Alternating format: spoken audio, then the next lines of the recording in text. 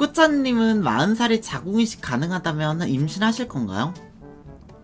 자궁이식이 가능하면 40살이라 아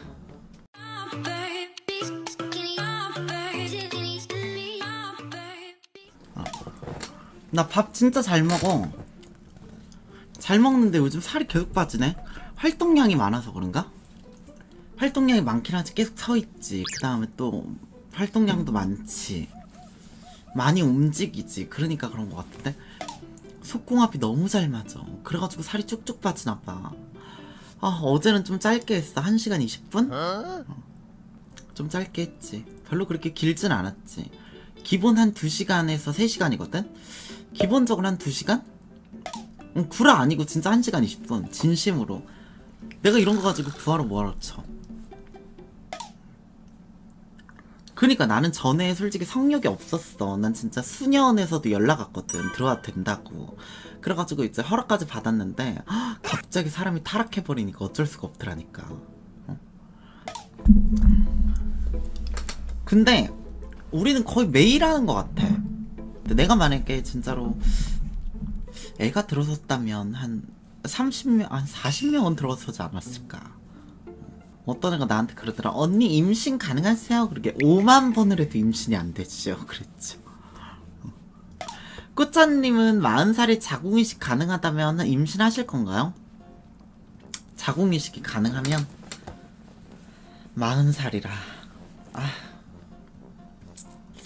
40살? 40살에는 조금 그렇고 35살? 내가 어느 정도 좀 열정이 있을 때 어. 임신은 여자만이 할 수 있는 신의 영역이죠. 많이 하세요. 어. 많이 하시면 되죠. 신이랑 뭐 맘먹으면 되지 뭐. 아니 뭐 좀 있으면 뭐 제우스랑 말도 하겠어.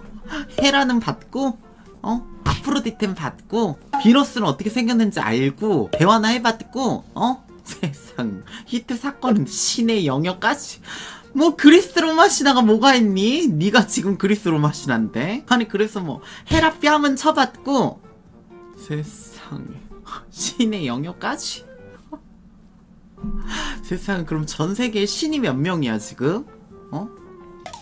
다음 생엔 여자로 태어나서 임신 잘 하라고요 그런데. 아니 난 다음 생에 여자로 태어나고 싶은 생각 없어. 난 다음 생에 태어난다면 또 남자로 태어나고 싶어. 일반 남자로 어, 그래서 냉랭이가 그때는 이제 일반 여자로 태어나서 내가 또 이제 사랑을 해야죠. 한 집안의 가장으로 했어. 음. 뭐 굳이 뭐 임, 아니 요즘 뭐 애도 안 낳는 추세인데 뭐 많이 낳으세요. 아시겠어요? 요즘 아니 딩크족이 얼마나 많은데 뭐 이- 신의 영역은 뭐 옛날 무슨 뭐 한 80년대 소리지 뭐. 7, 80년대 소리죠 그래 다음 생일이지 냉랭이가 여자로 태어나고 내가 남자로 태어나는 거지 또 이제 한 집안의 가장으로 했어 내가 또 책임을 지고 다음 생에 또 냉랭이를 또 내가 책임져야죠 그냥 하는 말을 너무 받아치신다 어 나도 그냥 하는 말인데 왜 내가 하면은 뭐 얘기하면 안 돼? 할 말이 있어야지.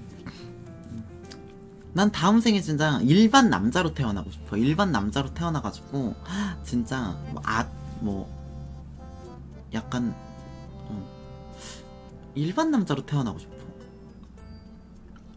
다음 생에는. 너는 보았니? 그녀를 그래서 눌렀니? 구독 버튼